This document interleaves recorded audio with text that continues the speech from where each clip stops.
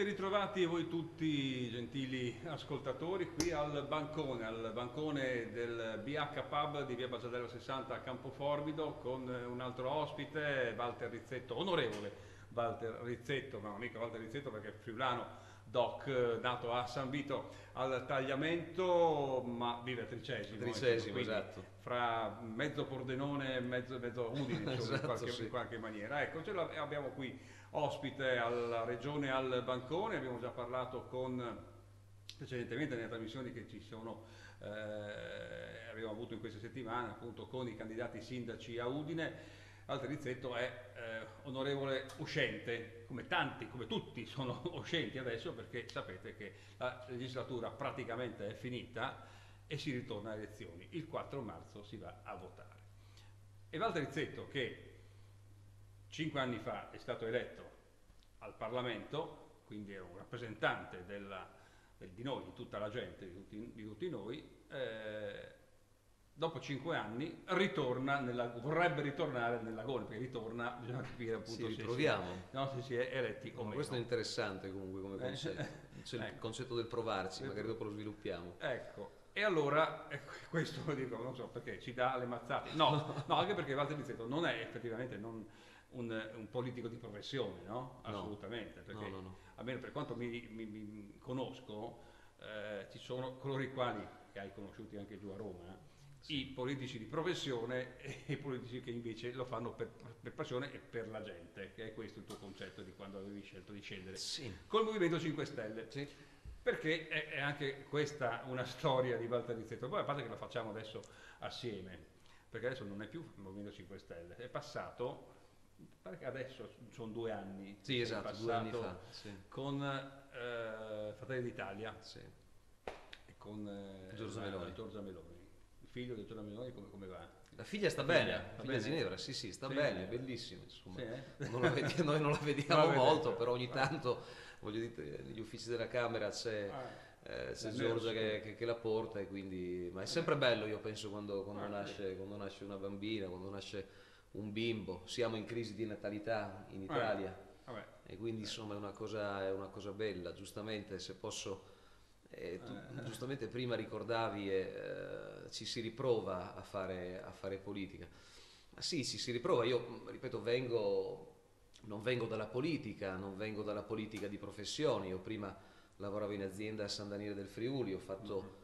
voglio dire, ho iniziato a lavorare quando avevo 19-20 anni e, e dire, dopo molti anni di azienda mi sono dedicato alla, alla politica, tra l'altro lasciando la mia azienda, nel senso che io Lasciato, l'ho- hai chiuso hai sì, chiuso l'ho completamente l'attività. lasciata perché mi era tua, poi perché eri Beh, socio, voglio no? dire, ero, eh, ero uno dei, dei manager che in, que- in quel momento portava avanti un'azienda che di fatto e fortunatamente, grazie a Dio, stava andando anche, anche molto bene. Però ho anche, deciso, anche in un settore particolarmente Sì, importante assolutamente, delle rinnovabili. delle rinnovabili. eh, però ho deciso, ho deciso di, di lasciare completamente l'azienda perché o fai una cosa bene nella vita o fai l'altra. Quindi ho deciso di ricandidarmi quest'anno per le elezioni politiche del, del 4 marzo e ho deciso di candidarmi tra l'altro senza nessun paracadute, nel senso che io sono capolista al proporzionale in Friuli Venezia Giulia, però non ho nessun altro tipo di paracadute in Emilia piuttosto che in Lombardia, piuttosto che in qualche altro Sei collegio solo sicuro. qua e se qua Sì. va, va eh. No, davvero che il mio non è uno dei cosiddetti collegi, Collegi collegi sicuri. sicuri. Facciamo, facciamo questa battaglia,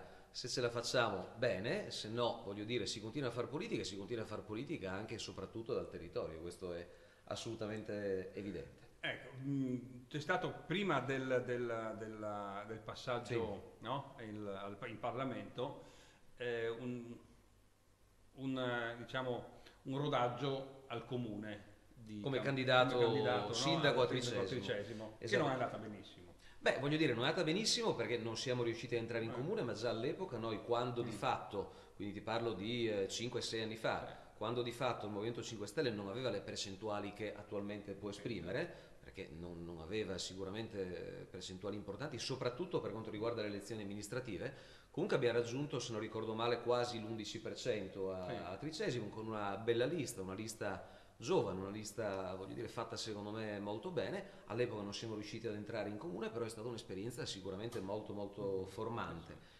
Eh, ed eravamo quasi al doppio rispetto alle altre amministrative che si svolgevano 5 o 6 anni fa in pancia il Movimento 5 Stelle proprio in, in Italia. Quindi il nostro risultato dire, l'abbiamo, l'abbiamo, raggiunto, è stato interessante, è stata per me voglio dire, una cavalcata importante con il Movimento 5 Stelle che ho frequentato a questo punto diciamo, per 7-8 anni, di cui due di vita parlamentare, dopodiché insomma, le cose non sono andate come io speravo e quindi c'è stata un po', anzi non un po', c'è stata una, di fatto una rottura, una rottura anche abbastanza, abbastanza, abbastanza forte, abbastanza importante, però la cosa se mi permetti... Eh interessante. Perché c'è anche un, interregno con autonomia. Sì, eh, ma quello era, eh, voglio dire, eh, quando tu eh, esci da un gruppo parlamentare, gruppo, vai sì, fondamentalmente al gruppo misto, e quindi per, per mantenere. Vi siete poi eravate in nove, mi pare. Sì, sì, esattamente, esattamente. Mm. Però lì, eh, quando le persone, e io giustamente eh, le ascolto e molto spesso anche applico un contraddittorio eh, secondo me interessante con le persone che anche perché non tutti sono dalla tua parte ci mancherebbe altro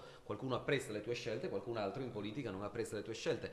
E quando però spesso la gente ti dice sì la, la, la politica è soldi e poltrone. Io voglio dire due cose su, questa, su questo ecco. aspetto. Il primo è che eh, per quanto mi riguarda io ho onorato quello che effettivamente eh, mi sembrava giusto rispetto al programma e alla linea del Movimento 5 Stelle, continuando ad esempio con tutto quello che sono state le cosiddette rendicontazioni, cioè io non è che sono uscito dal 5 Stelle e ho stoppato con le rendicontazioni. Ah. Ho fatto, ho continuato di trimestre in trimestre, quadrimestre in quadrimestre con dei progetti, soprattutto progetti locali che ho pubblicato mm. sempre per correttezza e per trasparenza sulle mie pagine, sulle mie pagine social e quindi quella mi è sembrata una cosa importante. Io ho restituito eh, poco meno di 120-130 mila euro nel, nel, ah, giro di, nel, giro di, 60 mesi. E dopo, quello che comunque il Movimento 5 Stelle aveva detto. Ed è una cosa giusta, ed è una cosa, ed è una cosa assolutamente giusta, anche se devo dire che lo rinnovo, grazie a Dio, io prima, ed è pubblico, perché Camera, ah, sul sito della Camera dei Deputati si può vedere eventualmente quanto uno anche guadagnava prima, mm, grazie a Dio, insomma, eh, non, non, Però non le si cifre. Sta, non si sta male, peraltro.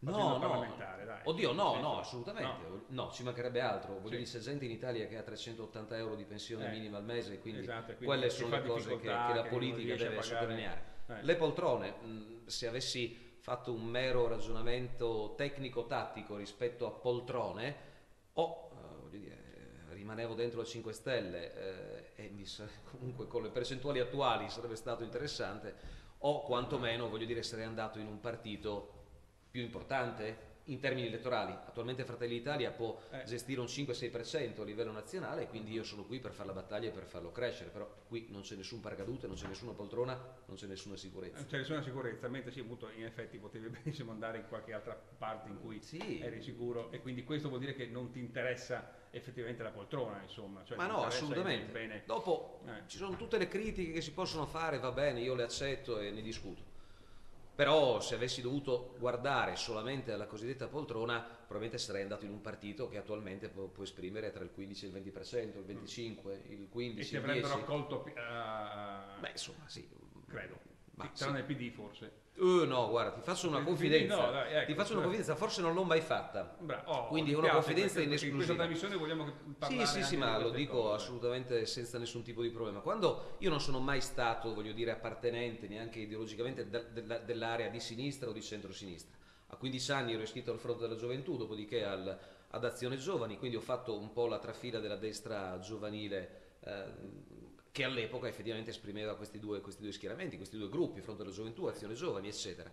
Quando sono uscito, quindi non ho mai avuto tendenze di, di centro o di centro-sinistra, quando sono uscito dal Movimento 5 Stelle, effettivamente c'è stata una richiesta da parte del, del Partito Democratico e c'è stata una richiesta importante da parte del principale, voglio dire, personaggio che gravita attorno al Partito Democratico in questo, in questo momento. Che è lui? Che è lui, che è Matteo è Renzi, chiaramente. E al che io ho, ho, chiuso direttamente e immediatamente il discorso dicendo io non, po- non, posso fare una cosa, non voglio, non posso fare una cosa del genere. E quindi abbiamo chiuso completamente tutti, tutti gli argomenti. Fortunatamente eh, me la sono giocata alla Camera dei Deputati in cinque anni, attualmente sono tra i primi 50 parlamentari su 630 in termini di produttività con più dell'82-83% se non ricordo male, 81,5% di presenza alla Camera e senza aver mai fatto una missione, tra l'altro. Le missioni sono quella, quella gabbola, quelle scamotage, ah, per, cui, per, cui, tu, per cui, tu, puoi non stare in aula, però vieni ah, pagato lo stesso. Io ho zero missioni e quindi se uno va a fare attività si prende le sue responsabilità. E chi è quello che non c'era quasi mai? O... Ma Beh, non non diciamo, voglio dire, no, no, ce ne sono, ce ne sono dire, di ma, ma- ma sono trasversali. timbrano, ti timbrano il cartellino e basta. Ma allora ecco, neanche. è diverso perché alla Eh. Camera dei Deputati se tu timbri effettivamente ci sei. Ci devi perché- essere anche per le votazioni. Sì, tra l'altro tu eh, devi votare con le impronte digitali e Ah, quindi, quindi non è che è puoi chiaro. timbrare. Al Senato è, è differente, però voglio dire di gente in modo trasversale, da destra a sinistra Sì, al centro, che non c'era quasi mai, insomma, ce n'erano non tanti fortunatamente, ma più di qualcuno abbiamo Eh sì. No, noi parliamo anche del personaggio, o meglio del- del- di quello che uno fa, del- chi è qui ospite al bancone, anche delle sue- dei suoi hobby, per dire, di quello che è stato precedentemente. Quindi noi, la nostra anima è sportiva e in particolar modo del basket. Eh, tu credo il basket non l'hai giocato, no? adesso c'è... Ho giocato a Cordovado, a Cordovado? sì, a Cordovado. dai, a basket? sì, a basket. E quindi sei uno dei, dei nostri, insomma, in qualche, mani- qualche maniera. all'epoca- Non so che, che livello era. No, all'epoca under- sì, era under qualcosa, adesso non ricordo neanche perché sono passati un po' di anni. All'epoca ero, ero più appassionato di calcio, Di ma devo dire che anche, allora. sì, esattamente, anche questo tipo di, voglio dire, realtà dove stiamo parlandoci noi oggi, secondo me son- è una realtà importante. Perché? Perché non si vive di, sol- di solo calcio, questo è Mm, evidente. Io negli ultimi anni, anche grazie, e devo dirlo, alla passione di mio figlio per il, per il basket, mio figlio Ah, ha 13 baschettaro, anni, baschettaro. e ho iniziato a seguire da vicino il basket, e soprattutto il basket eh, qui a Udine. E co- come dicevo l'altra sera, stavamo guardando la, la- la- la partita partita. al, al Carnera, dico, è un'esperienza molto importante, perché vedere il Carnera di nuovo ancora così pieno e con tanto entusiasmo, io penso che sia una cosa molto molto importante.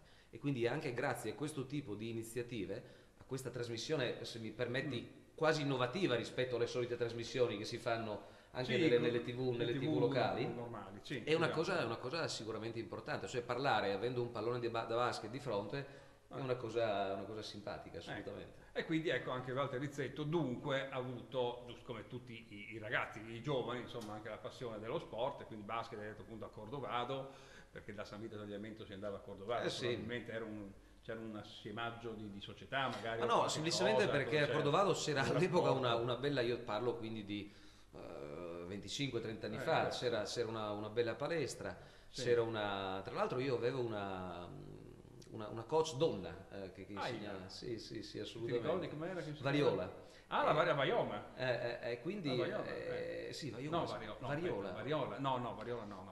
È Procacciante, Vaioma Procacciante. Non c'entra che la sono- salutiamo. Ciao Vaioma, che è una giocatrice che allena anche lei maschi, per- Sì. probabilmente oltre che giocare. no? E io se non ricordo male c'era, c'era una, eh, una- una variola. E, però insomma è stata un'esperienza sicuramente importante, come importante sono tutte le Ero esperienze. playmaker, guardia, play. Sì, ero guardia. Guardia, sì, eh, sì, però con, con scarsi, con scarsi risultati. risultati, hai abbandonato- adesso, adesso ho ricominciato un po' a giocare con mio figlio, ma Eh. devo dire che lui sta iniziando a diventare più bravo di me. E va bene, importante, importantissimo, insomma, il, il- il valore delle, delle società eh, sportive che, Eh. che cercano di, di agglomerare giovani eh, dal calcio al basket al tennis, anche voglio dire, oggi siamo qui in uno spazio dedicato al tiro a volo, Sì, vabbè, certamente. Anche ad una cosa del genere è sicuramente molto, molto importante perché purtroppo per come è messa l'Italia negli ultimi anni io penso che una valvola di sfogo importante sia lo sport, soprattutto lo sport giovanile. Anche se ci sono dei costi anche per le società sportive veramente Importanti, enormi, eh? importanti, Eh sì, palestre per dire nel nostro Sì, sì. sport. Beh, ma basta vedere campi, quello che è successo, sì, sì, quello che è successo all'epoca, io me ne sono occupato tra l'altro, Mm. Mi sono, ho cercato di occuparmi rispetto ai, ai defibrillatori per le Ah, società ma sportive. certo, eh. All'epoca il decreto Balduzzi obbligava tutte le, le- le associazioni, le società sportive a, doversi fornire di un defibrillatore, però la spesa era di 2-3 mila euro, considerata la formazione anche Sì, delle sì, persone, certo. e molte società sportive non avevano questi soldi in, in tasca. Quindi è, è giusto che lo Stato vada a coprire questi costi, perché eh, le società sportive sono effettivamente tutti i giorni gratis et amore dei, perché io ne conosco molti che fanno parte di società sportive che mollano dopo 8 ore di lavoro e senza voglio dire, nessun obolo in cambio vanno a dedicare effettivamente qualche ora ai ragazzi, ai giovani e meno giovani. Quindi in questo lo Stato deve fare ancora molto. E deve fare veramente ancora, ancora Sì. molto. Magari lo Stato assieme al CONI, assieme invece di pensare a cosa succede alla Fisici. Che è Io ho visto nell'ultima, nell'ult- sì, Eh? nell'ultima legge di stabilità, eh, quindi la finanziaria alla Camera, Eh. Permettetemi, ho visto fare moltissime marchette elettorali. Tante. Sì. Io mi sono fatto una settimana in commissione bilancio, giorno e notte, perché abbiamo fatto delle sessioni da 18-20 ore eh, ininterrotte, e ho visto mettere milioni a pioggia um, in alcuni ambiti che sono ambiti territoriali ma non sono neanche ambiti sportivi tra l'altro. Quindi in Italia chi vi dice che tanti soldi non ci sono sbaglia, è un bugiardo. In Italia ci sono dei soldi anche per fare delle cose virtuose. E l'importante è che la politica metta il giusto, voglio dire, giusti, le giuste risorse nel giusto ambito, nel tempo giusto. Ecco, io penso che lo sport debba essere sicuramente aiutato. Ma fra poco ci dirai perché noi dobbiamo fare la pausa solita. Qui, qui, qui siamo televisione perché in questo senso, anche se siamo al bancone, eh, dobbiamo fare una pausa ah beh, certo. dei tempi pubblicitari e quindi la facciamo adesso, dopo il primo quarto d'ora circa che siamo stati assieme, perché poi ci dirà Walter Rizzetto, nostro ospite di questa trasmissione, alcune altre cose che io sono molto curioso e quindi vorrei sapere se poi dopo lui vuole rispondere, rispondere, se no, insomma, ci berremo, ci berremo tra poco anche un, uh, un buon pino grigio del nostro partner delle vigne del Marina. Molto bene. A fra poco.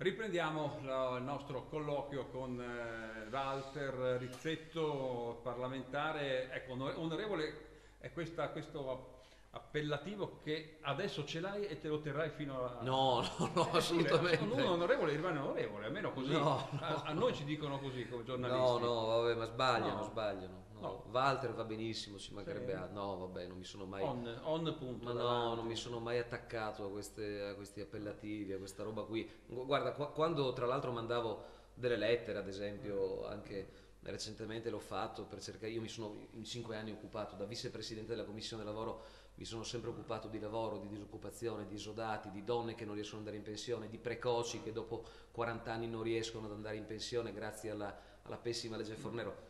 Quando scrivevo mettevo sempre Walter Rizzetto, punto, basta. Però vedi, ti sei impegnato in questo. Sì, e cosa è cambiato? È cambiato poco. Eh, Oddio, vedi, qual- è, que- allora, è questo che eh, se ma... uno, due, tre, magari magari solo anche, sì. anche altri lo facevano con la stessa eh, linea operativa su pensioni, su quello però non è cambiato niente. È mancata, è mancata, io mi sono occupato prevalentemente di pensioni, di pensioni, mm. di gente che non riesce ad andare in pensioni, di pensioni che non riescono ad arrivare a 300 euro al mese, eh, di lavoro, di, di, disoccupazione, attualmente c'è ancora quasi l'11% di disoccupazione globale in Italia, sono dati incredibili, 33% di disoccupazione, 33,7% di disoccupazione giovanile, sono dati allarmanti. E mi sono occupato di questo, eh, di sindacati. È chiaro che eh, quando tu hai il timone della barca in mano, quindi sei al governo, con una volontà politica riesci a cambiare le cose nel giro di poche ore, questo posso garantirtelo. Sì? Sì, no, assolutamente si dice, sì. si dice che al Parlamento sì si possono fare le leggi, si possono fare eh, interrogazioni e quant'altro, però la macchina è talmente ingolfata dai funzionari, Perfetto, dirigenti, sì, che oh, ma anche, è lì perché se tutti si mettessero d'accordo 600 e 30, e... però lì c'è, c'è un, evidentemente ci sono degli esecutivi, ci sono dei governi deboli. È, è vero, tutti ce l'hanno con la politica, quasi tutti ce l'hanno con la politica ad oggi in Italia, giusto? Va bene perché la politica ci ha insegnato anche che effettivamente qualche porcheria è stata fatta negli ultimi anni, negli anni passati. È anche vero che il politico fa una legge, dopodiché perfetto, giustissimo, quando tu prima eh, dicevi che c'è un apparato, un'infrastruttura tra il cittadino e la politica che sono i ministeri, che sono i tecnici, che sono i periti, che sono tutta questa gente qui che lavora all'interno dei ministeri e basta che una legge da noi votata non gli vada bene, non mettono fuori, non fanno, eh, non fanno uscire ad esempio un cosiddetto decreto attuativo e ti bloccano l'iter della, della legge stessa. Però lì deve esserci un, un, governo importante, un esecutivo importante che va dai ministeri, batte i pugni sul tavolo e dice ragazzo, qui è la politica che fa le leggi, quindi o tu fai questo, tu, tu, sei un esecutore, insomma, o tu fai questo no? ecco. o te ne vai a casa. È altrettanto chiaro che fare opposizione non è essere al governo. Io ho fatto cinque anni di opposizione, qualcosina siamo riusciti ad ottenere rispetto alle salvaguardie degli esodati dopo la pessima legge Fornero, rispetto a quel protocollo che si chiama opzione donna, per cui eh, dare alle donne la possibilità di andare in pensione un po' prima, proprio perché, come diceva il fortunatamente ex primo ministro Matteo Renzi, le, voglio dire le donne che vogliono andare in pensione e stare con i nipoti e la famiglia devono avere la possibilità di poterlo fare anche perché siamo passati eh, a livello pensionistico ad un retributivo, ad un, eh, ad un, contributivo adesso, da un retributivo, un retributivo misto ad un contributivo, quindi tu quanto versi avrai in Avrai. termini di pensione. E questo potrebbe essere un problema però dei prossimi anni. eh. Cosa è stato che ti ha mosso, eh, quale fuoco ha fatto? Quello di Beppe Grillo per esserti messo con, ai tempi con, eh, con il Movimento 5 Stelle? Io lo rinnovo dopo aver fatto molti anni di esperienza rispetto alla, alla cosiddetta destra giovanile. Sì, che, hai detto prima. sì. Esattamente, ho abbandonato un po' così la, la- la passione politica per dedicarmi un po' alla mia azienda un po' e sicuramente anche alla, alla mia famiglia. Ehm, dopodiché sì, è stato Beppe Grillo all'epoca che... Ma perché l'avevi visto al Parasol Carnera, per, peraltro, oppure lo seguivi? Lo seguivo, era... lo seguivo. Dopodiché Eh. io come... No, la- in fondo Beppe No, Grillo c'è è stato- un professionista a livello di spettacolo, Sì, non del- sì, della sì, politica, sì, no? Poi dopo, vabbè, certo che nei suoi spettacoli buttava Vabbè, dentro si mette la politica. C'è stato un passaggio importante, anche se voglio dire può essere poco, eh, poco pesante per, per la pubblica opinione, però per me è stato un passaggio importante.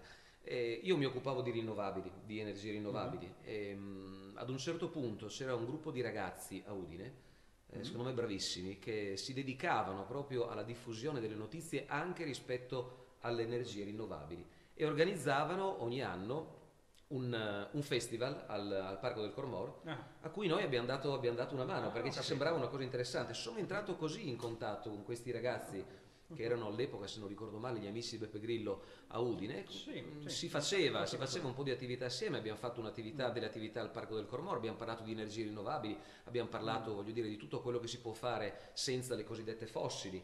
E da lì pian piano è iniziata questa frequentazione che mi ha portato mm, in primis a diventare candidato sindaco a, a Tricesimo per poi eh, fare regolarmente le parlamentari ed essere il più votato in Friuli Venezia Giulia. Però devo dire, chiudendo, che mh, sì, anche se Grillo è cambiato rispetto, rispetto a qualche anno fa, perché come sappiamo tutti oramai si occupa un po' meno, voglio dire, di politica, un po' più... Grillo resta così, Grillo resta uno che ragiona di pancia, Grillo resta un artista, resta uno che effettivamente fai fatica ad ingabbiare nella politica, però devo dire che all'epoca Grillo mh, ha lanciato dei messaggi sicuramente molto importanti. Adesso si sta trasformando secondo te questo Movimento 5 Stelle in vero movimento politico? Beh, lo è già. Eh, Eh, in- voglio dire, negli ultimi anni si sono dotati di non uno ma tre statuti differenti, non votati da, da nessuno come, come statuti, tra l'altro. E basterebbe capire e basterebbe vedere quello che, che è successo rispetto alle ultime selezioni per quanto riguarda le- i parlamentari e, e- e i senatori che, che andranno a concorrere il 4 di marzo. Cioè si dice tu corri, eh, mi dai la tua disponibilità, vieni votato, ma ad un certo punto è il capo politico che ti depenna o meno rispetto a- al fatto che gli piace o no. Basta vedere quello che è successo, mi pare, due anni fa eh, a Genova con la candidata del Movimento 5 Stelle che ha vinto regolarmente, legittimamente, le cosiddette selezioni e ad un certo punto era invisa ai capi e l'hanno depennata. E quindi, voglio dire, sì, va bene, una struttura era necessaria all'interno del Movimento 5 Stelle, questo è del tutto evidente, però mh, basterebbe dirlo, basterebbe dirlo tranquillamente, ci siamo trasformati in un partito politico. Eh. Tra l'altro i parlamentari della prossima, hanno firmato, i parlamentari del prossimo giro saranno obbligati a pagare una cifra di, mi pare, o 200 o 300 euro, no, 300 euro al mese al partito. per incrementare appunto il Beh, movimento e quindi per una, per e una quindi pia- diven- quindi si diventa per una piattaforma che si Esatto. chiama Rousseau e che voglio dire è, è l'house No, organ ma- de- de- de- Ma questa era la tua vecchia casa, adesso abbiamo detto già prima che adesso sei nella nuova a cui io casa. non porto rancore, eh, attenzione. No, C'è ancora- ecco. no, ma c'è ancora qualcuno che ogni tanto mi, di- mi dice qualsiasi cosa, magari sui social network. Però io non porto rancore perché lo rinnovo, secondo me all'epoca il Movimento 5 Stelle è stato innovativo, c'era bisogno No, del Movimento 5 assolutamente, Stelle. Dopodiché le cose non sono andate bene, cioè noi ci siamo ritrovati ad un certo punto a, a- a- a dover battere i tacchi, a dover mettersi sull'attenti. Io non l'ho mai fatto e mai lo farò. Ehm, Eh. Però non, non- non- potevo, non potevo Guarda permettere... chi è il potere forte che Beh, all'epoca eh, comunque... spinge in queste cose? Beh, all'epoca comunque una persona comunque che è stata importante, ehm, che voglio dire adesso purtroppo è, è mancata, che si chiamava eh, Gian Roberto Casaleggio, aveva, voglio dire, la stanza di Bottoni era, era la sua. C'è un libro interessante, eh, Mm. dico soltanto questa cosa qui, c'è un libro interessante di Nicola Biondo, che era l'ex capo comunicazione, l'ha fatto per tre anni, del Movimento 5 Stelle alla Camera dei Deputati, un giornalista, secondo me molto bravo, che ha scritto un libro, se ne è uscito anche lui, e ha scritto un libro.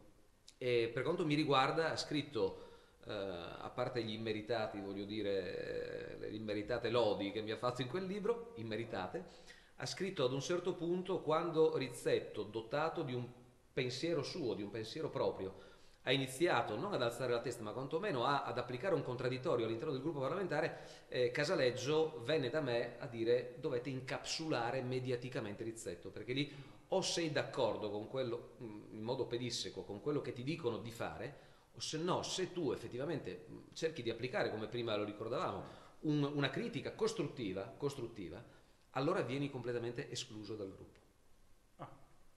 Questo è il modus operandi, assolutamente. Io sono andato, ricordo in televisione a, alla 7, ehm, subito dopo un, una tornata delle, delle, regionali che non era andata bene per il Movimento 5 Stelle in Emilia Romagna e in Calabria, se non ricordo male, eh, a parlare bene del Movimento 5 Stelle, perché ho detto non siamo riusciti ad arrivare alla pancia di tutti gli elettori che meritano.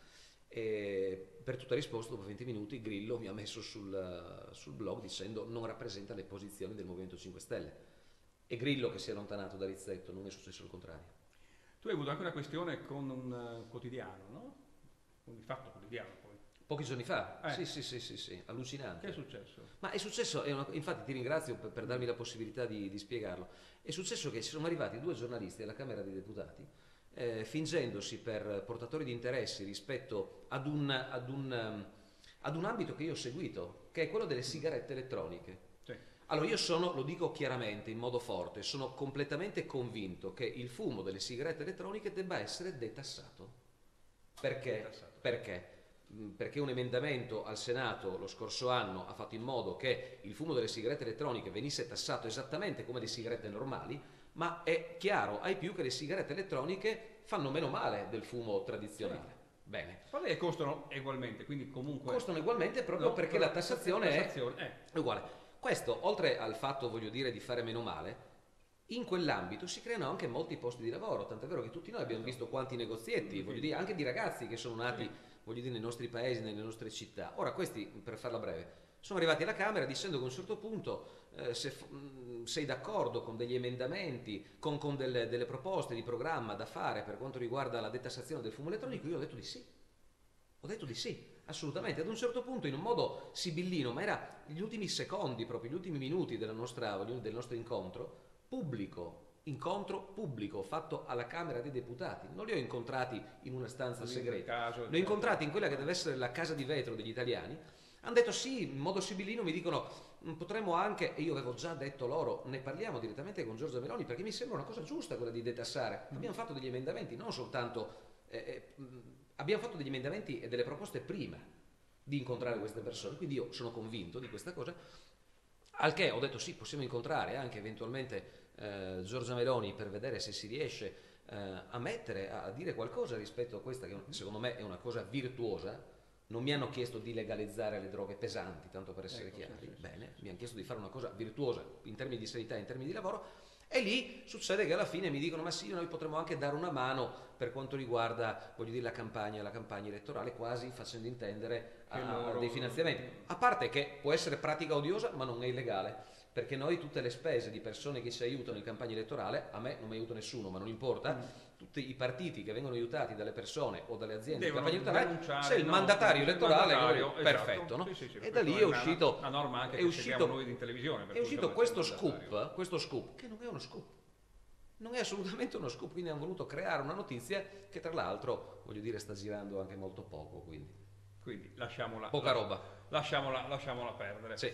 Bene, e allora detto questo, continuiamo appunto a parlare con Walter Rizzetto, scendendo un attimino, ma per, perché abbiamo ancora l'altra parte, no, forse possiamo fare una pausa anche adesso, perché così facciamo l'ultima parte del, di questo nostro incontro con eh, i nostri amici politici, amici, ecco noi diciamo amici, siete amici di tutti? Eh sì, perché quando uno è politico è amico. No, io no, no, no, non, eh? è, è, necessario. Allora, a me questo buonismo che il eh. politico deve essere amico di tutti, la pacca sulla spalla a tutti. No, ci sono delle persone a cui io sto sulle palle, ci sono eh. delle altre persone che probabilmente stanno, passatemi il francesismo, sulle stesse a me, e non è necessario, non è necessario, non è necessario andare tutti d'accordo nella vita Neanche, neanche, quando c'è bisogno di un voto in più. Ma no, ma no, assu- assolut- no, assolutamente. È importante però mantenere sempre rispetto, cioè essere civili l'un l'altro, dirsene anche, ma dirlo in modo civile. Sono d'accordo. Pausa e tra poco ancora qui con Walter Rizzetto.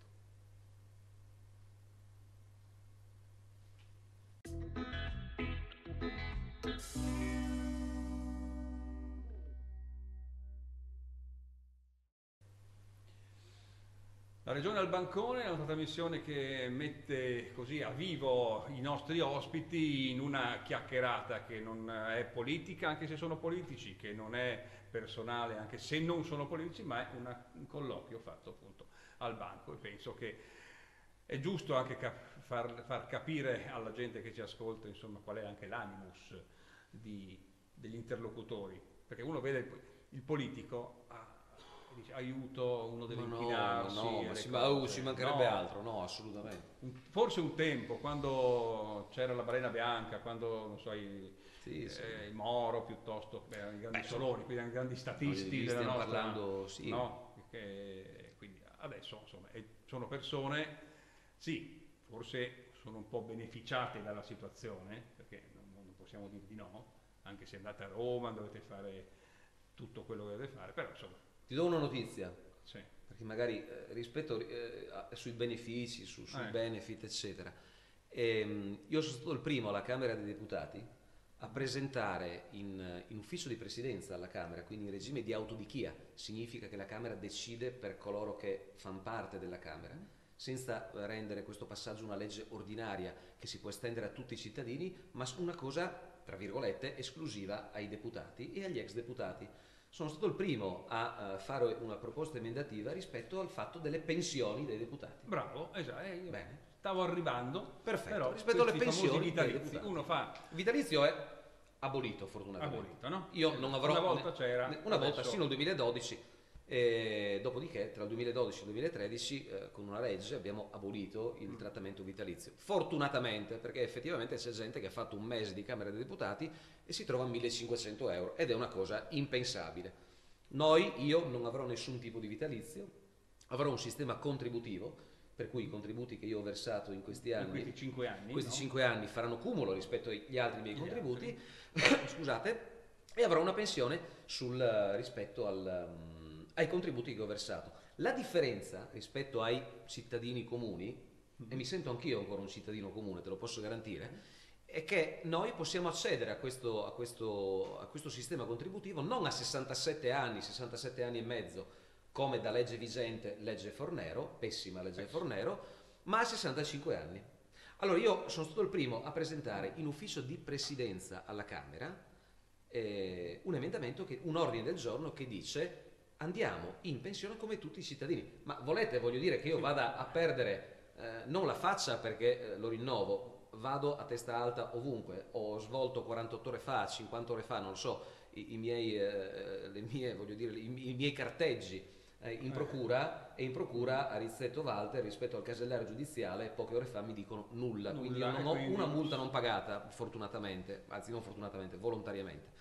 Però quella cosa lì si poteva risolvere e anche coloro che in questo momento, voglio dire, gridano tanta dire, vendetta rispetto a queste cose, è in ufficio di presidenza alla Camera dei Deputati sull'ordine del giorno, anche sull'ordine del giorno di un nostro collega che si chiama Edmondo Cirielli, che è un deputato di Fratelli d'Italia, che parlava ad esempio di taglio dei vitalizi trascorsi e anche i più, voglio dire, i, più, i meno sospettabili, diciamo, hanno votato astensione in ufficio di presidenza, per poi alla Camera dei Deputati in aula fare un gran casino. Quindi le cose, secondo me, i cittadini devono andare a guardarle, a guardarle molto bene, anche perché c'è la possibilità di guardarle. Se voi andate sul sito camera.it c'è scritto, c'è scritto tutto, tutto, tutto quello, che, che, succede, tutto quello che succede. Però ecco, se, se c'è questa volontà da parte di 1, 2, 3, 500, però Manca c'è la, la, maggioranza, la maggioranza. Non, non, fare. In democrazia, quindi... in democrazia ecco, succede che i pallini che voi vedete alla Camera, ecco, rosso, verde o bianco, eh, devono essere valgono. verdi per passare. Devono, per e, far e quelli valgono. Esatto, cioè, quindi deve esserci la volontà politica e quelli valgono. Adesso c'è una corsa, quindi il 4 marzo si va a votare come abbiamo appunto detto, c'è una grande corsa ai vari posti, sì. più o meno sicuri. Allora, noi andremo a votare con il Rosatellum, sì. che è questa, uh, nuovo, questo nuovo modo di andare a votare che noi non abbiamo votato dal, da un nostro parlamentare di Rosato, no? più o meno. Sì, vabbè, si prende il nome, ahimè, da, sì. da un deputato della nostra, della nostra regione. Ecco. Qual è la differenza? Che cosa succede? Cosa, cosa cioè. Ma succede che è una legge elettorale, innanzitutto, allora, il, il, principale problema di questa legge elettorale è innanzitutto che non c'è il voto disgiunto, Per cui una persona dice mi piace un partito ma non mi piace il candidato, posso votare in modo disgiunto rispetto, rispetto a, allo stesso. Quindi non c'è questo tipo di possibilità.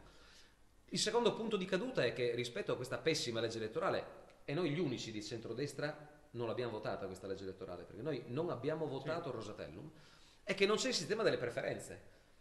Per cui il cittadino, eh, voglio dire, anche eh, in campagna elettorale, quando conosce un candidato, magari gli piace o non gli piace, Sì, non può chiaramente votarlo, non può votarlo, non deve può dire, votare io voglio che vada a Rizzetto va No, di nuovo no, a Roma. vota no. un listino, vota un listino. Ecco. Meglio rispetto a- al Procellum, però vota sempre un listino.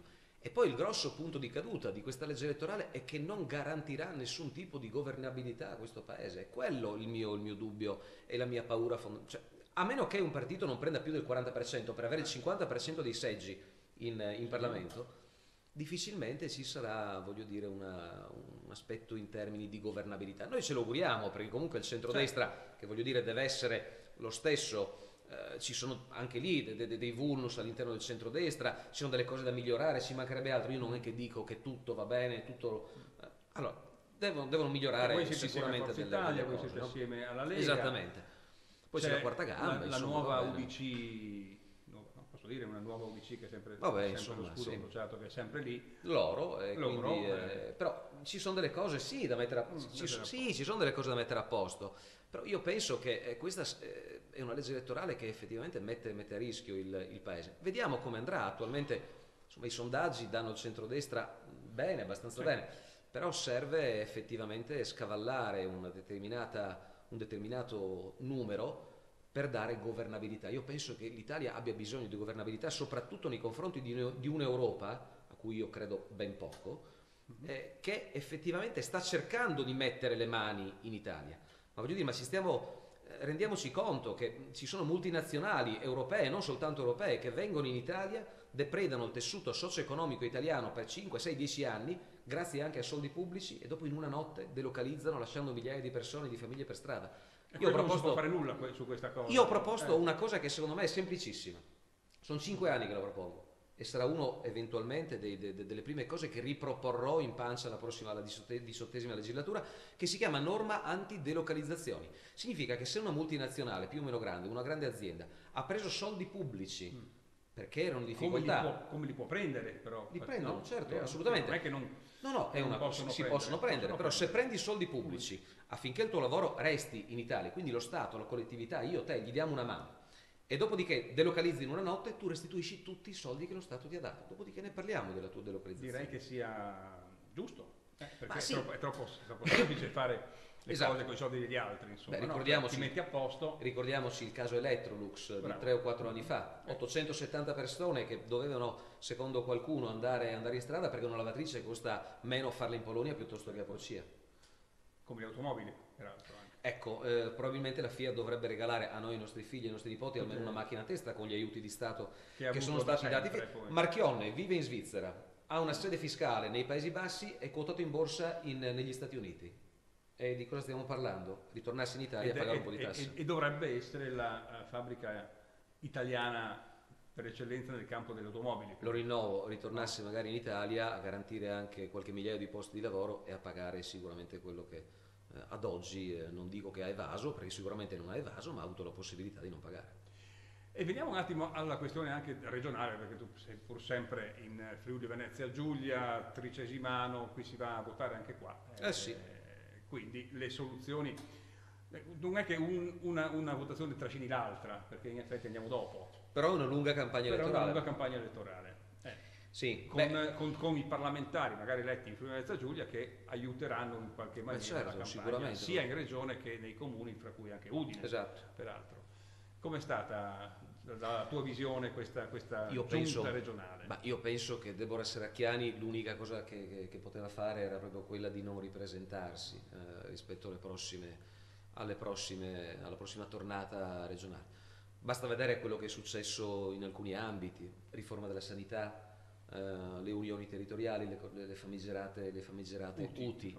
Penso che... Solo da noi poi, alla noi. fin fine. Perché Ma sì, assolutamente. Tra l'altro, voglio dire, non, non capisco rispetto anche al passaggio della riforma costituzionale che fortunatamente non è passata, quella dello scorso 4 dicembre, eh, rispetto anche alla, alla, riforma del Rio, che cosa c'entri in questo momento portare avanti questo tipo di, di protocollo, no? infastidendo cittadini, infastidendo amministratori locali, infastidendo strutture e infrastrutture.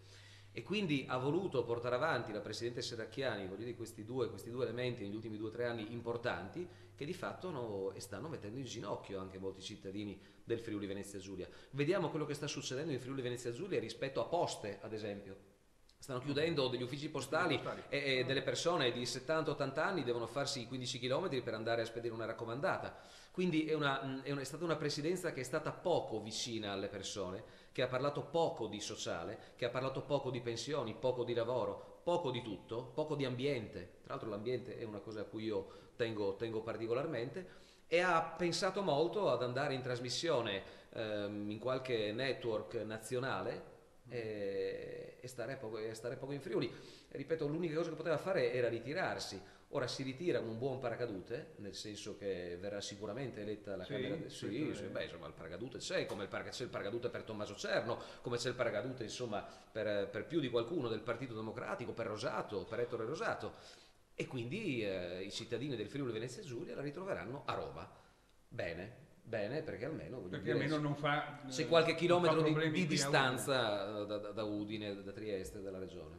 Beh, è stata beneficiata diciamo, da quell'incontro del PD con Franceschini, mi pare, no? c'è stata quella sì, sì, situazione là e quindi correnti e correntine, correnti correntine fatte, stata... io spero che e comunque entro qualche giorno immagino che la riserva sarà sciolta che il centrodestra in Friuli Venezia Giulia possa esprimere veramente il miglior candidato eh, le indicazioni secondo me ci sono, sono anche indicazioni giuste e quindi vediamo quello che anche succederà. Anche perché in questo caso anche il Fratelli d'Italia è ovviamente vicino, no? perché è la stessa, certo. si omologa quello che succede in campo nazionale anche in campo sì, locale. Ma sì, pare, no? Tant'è vero che noi in questa campagna elettorale, eh, rispetto a questa campagna elettorale eh, per le politiche, iniziamo già a parlare anche di regione, anzi parliamo già di regione perché è una, cosa, è una cosa giusta, è una cosa, è una cosa, da fare. Mancano a questo punto tre mesi quasi al, al, voto per le regionali e quindi è giusto parlare anche con i cittadini della, della regione stessa. Perché questa regione, Friuli Venezia Giulia, che cosa deve, secondo Walter Rizzetto, deve, deve, deve, rappresentare, deve essere? Ma deve eh? rappresentare una regione, una, un, veramente una regione mitteleuropea. Noi abbiamo una, de, delle possibilità incredibili. È che siamo tagliati per il momento anche dalla rete ferroviaria. Tra l'altro, perché, no? bene, arrivare Assolutamente. Le rosse non arrivano. Io, guardate, eh, guarda, prendo mm. sempre il treno, non prendo mai l'aereo. Eh. Prendo sempre il treno per, voglio dire, per alcune scelte che ho fatto.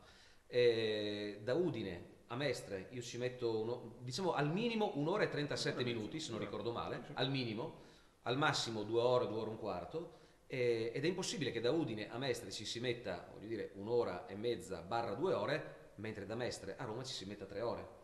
Eh, quindi si parla di infrastrutture, ma si parla soprattutto di lavoro. Il Friuli Venezia Giulia è una delle regioni che ha perso eh, proporzionalmente più posti di lavoro nel nord-est Italia negli ultimi cinque anni. Questi sono dati, sono dati Istat. Il Friuli Venezia Giulia è una regione, poche, eh, pochi giorni fa ero a Trieste e ho parlato ad esempio di alcune attività commerciali, di alcune attività imprenditoriali che soffrono parecchio della diretta concorrenza di alcuni stati esteri, esteri membri, Slovenia ed Austria vicini per cui un tassista paga meno in Slovenia, un trasportatore paga meno in Slovenia e in Italia viene massacrato dalle tasse. In Italia c'è un total tax rate, che è il, voglio dire, la somma delle tasse che un'azienda paga, che è di circa il 66%, in Slovenia è del 34,7%. Mi chiedo se questa è un'Europa giusta. In Italia diamo 35 euro ad ogni richiedente asilo, ad ogni richiedente asilo. E va bene, ci mancherebbe altro, io sono il primo a dire che le persone vanno aiutate, soprattutto quando attraversano il, il, mare, ci mancherebbe altro. Aiutiamo prima i nostri. Però, Bene, perfetto. Allora, se 35 euro devono essere date a queste persone, io voglio che 35 euro di fondi cofinanziati con l'Europa, che dovrebbe tenersi in pancia l'Europa e non farli pagare anche gli italiani, devono essere dati anche a disoccupati, a persone che perdono il lavoro, a gente che dorme sotto i ponti o, gente, o imprenditori che pensano al suicidio perché non riescono a pagare i propri dipendenti. Ed è questo è un problema. E accanto alla regione ci saranno dei comuni, ma c'è uno comune importante che è quello di Udine, perché Trieste c'ha già il suo sindaco, Gorizia l'ha appena fatto, Pordenone eh, l'abbiamo. Sì. ecco, Udine, Udine che potrebbe essere l'ulteriore comune a guida centrodestra come gli altri tre, ma anche no, perché Udine è sempre stato, non so quanto conosci Udine, ma penso di sì. Sì, sì, bene, lo Ecco, e quindi Udine è sempre stata una città un po' strana, un po' mm. eh, così chiusa, bigotta, eh, non vuole cambiare, anche se nel tempo comunque ha avuto sindaci di diverse certo, parti, certo. parti politiche, però ultimamente anche no. Adesso ci potrebbe essere, o meglio si sente che ci potrebbe essere questo cambiamento. Però eh, eh c'è il problema appunto del, del, di come fare. Udine, che, che, che, se tu fossi... Ma eh, eh? se, io, se, io, fossi eh, nelle, possibilità nelle, possibilità di, di poter cambiare eh, qualcosa a Udine? Sì. Perché è sempre un, un, Cambierei... un capoluogo friulano importante con um, la sua storia, la sua cultura, le sue attività sportive. Rilancerei, allora io vedo, vedo Udine, ma forse questa è un po' una mentalità purtroppo poco politica e forse più imprenditoriale. Forse venderei Udine meglio eh. Eh, fuori, fuori dal Friuli Venezia Giulia. Udine è una città splendida, Udine è una città che voglio dire potrebbe avere lo stesso livello di turismo, o quasi perlomeno, eh, di Trieste piuttosto che di altre, di altre città. E la venderei meglio, la promuoverei meglio, andrei ad applicare voglio dire, un ragionamento molto serio rispetto alla sicurezza che ad oggi a Udine c'è poco perché mm, girare in alcune zone di Udine dopo le nove e mezza, dieci di sera può iniziare a diventare pericoloso. E il sindaco Onsel un anno, un anno e mezzo fa per garantire la sicurezza ha tagliato le siepi perché pensavano che, pensava che mm. voglio dire, i delinquenti andassero dietro le siepi a nascondersi, ha tagliato le siepi. Parlerei di lavoro Parlerei di rilancio delle imprese, farei battere i pugni ai miei rappresentanti politici a Roma rispetto ad un rilancio e a dei contributi che potrebbero arrivare nella città di Udine e nell'Interland udinese per quanto riguarda il piccolo artigianato, per quanto riguarda la piccola media impresa, per quanto riguarda due zone che sono molto, molto importanti, la zona industriale e la zona artigianale. Ecco, quello inizierei a fare. Farei diventare Udine, lo rinnovo, una città al pari di altre mitteleuropea eh, cercherei effettivamente una promozione più importante per la nostra, per la nostra città, cosa che Onsel di fatto non è, non, è riuscito, non è, riuscito, a fare. Ora anche lui fortunatamente si ritira e quindi ritornerà, andrà a fare, a fare, dell'altro, però io immagino che il prossimo primo cittadino di Udine debba fare queste cose qui, debba iniziare a capire effettivamente cosa succede ai giovani, ad esempio, di Udine. Mm-hmm, certo. e, mi pare che non ci siamo molto sotto questo, sotto questo punto di vista negli ultimi, negli ultimi anni.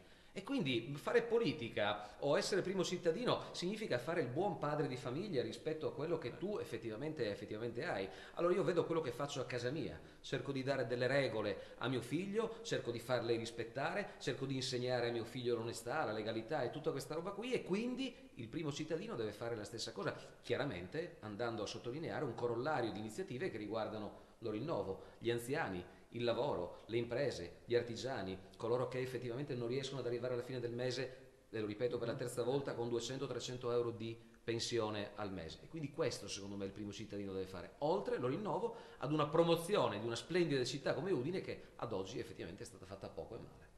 E si andrà alle elezioni anche per Udine, si andrà alle elezioni per il Friuli Giulia, ma prima andremo per le politiche dove Walter Rizzetto correrà ancora per eh, Fratelli d'Italia al proporzionale. E a questo punto, grazie. Grazie a voi. presenza, ritorno a trovare qua perché Volentieri. il pub è aperto a tutti, ovviamente, a voi che ci ascoltate e a tutta la popolazione del Friuli Venezia Giulia e oltre, e non solo sportivi, ma anche sportivi. Grazie, alla prossima.